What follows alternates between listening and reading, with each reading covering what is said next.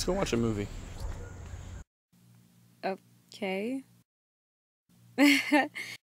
uh, I'm I'm free later this week. No, I mean now. You could be an axe murderer. There's always that possibility. Come on, Hazel Grace. Take a risk.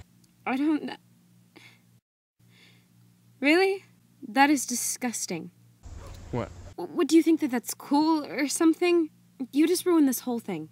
The whole thing? Yes, this whole thing. Oh, man. Even though you had freaking cancer, you're willing to give money to a corporation for the chance to acquire more cancer? Let me just tell you that not being able to breathe sucks. Hazel Grace, they don't actually hurt you unless you light them. Hmm? I never lit one.